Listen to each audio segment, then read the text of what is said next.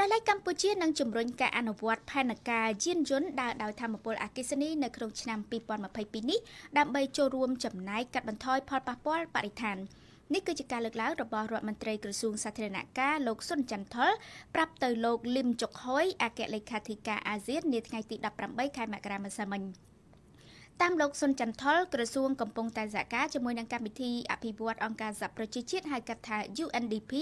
ដើម្បីដំឡើងស្ថានីយ៍សាអាគុយចំនួន5កន្លែងរួមមានទីស្តីការក្រសួងសាធារណការនិងដឹកជញ្ជូនក្រុងព្រះសីហនុខេត្តបាត់ដំបងនិងរាជធានីខេត្តមួយចំនួនព្រមទាំងកំពុងសហការជាមួយនឹងដៃគូឯកជនដើម្បីអភិវឌ្ឍហេដ្ឋារចនាសម្ព័ន្ធសម្រាប់យានយន្តដើរដោយថាមពលអគ្គិសនី